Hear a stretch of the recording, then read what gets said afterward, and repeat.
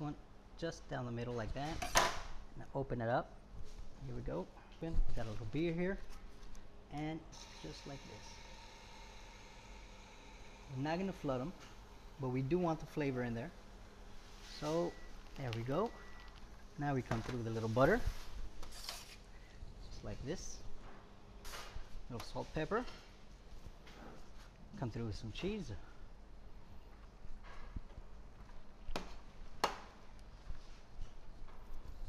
Jalapenos.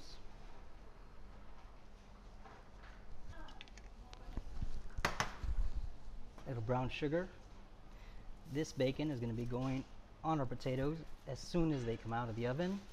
They are already baked. Now we have some sour cream right here. And as I said, we have some tipsy baked potatoes.